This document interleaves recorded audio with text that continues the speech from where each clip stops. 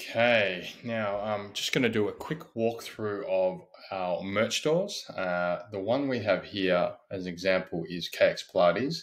Um, now, I just want to start off by uh, stating that everything on these merch stores is fully customizable from, you know, obviously your logo and your top bar graphics to every piece of function. Because we've built it all in house, we can change uh, anything you would like from the top menu through to the you know size of images displayed etc etc this is just um, our I guess template for how we do our merch stores for our clients. So um, you'll be given your own domain and folder and user level access. Um, as you can see at the top bar here, um, I'll go through each of the menu items one by one.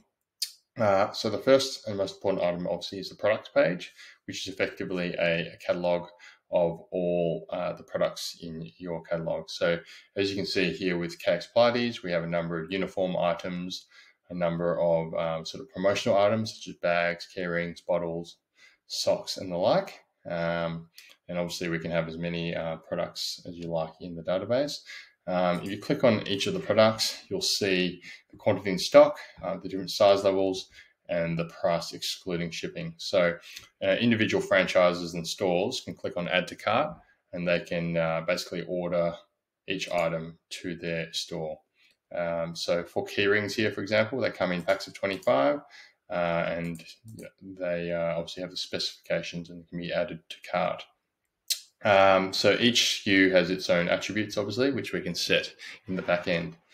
Um, next up, we have the user control panel, which obviously is a user taskbar to um, administrate you know, access levels for every user, whether whether they be store managers or people who are ordering individual items. Um, and this is unlimited as well. You can create as many users as you like.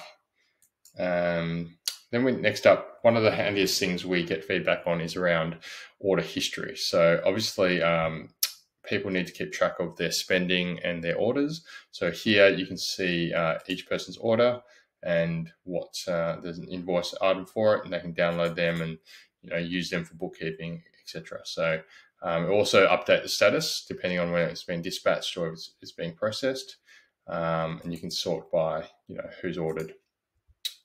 Um, the next item here we have is an address book where you can add individual addresses for the users of the merch store.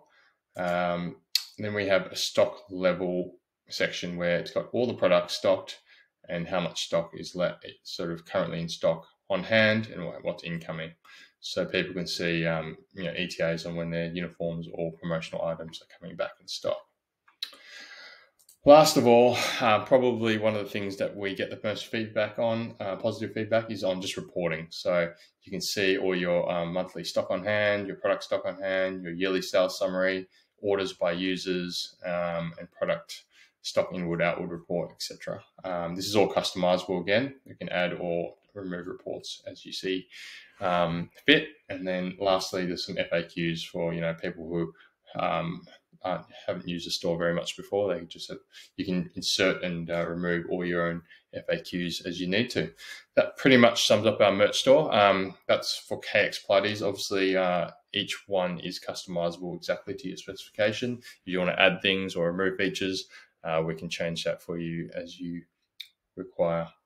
That's it. Thanks for watching.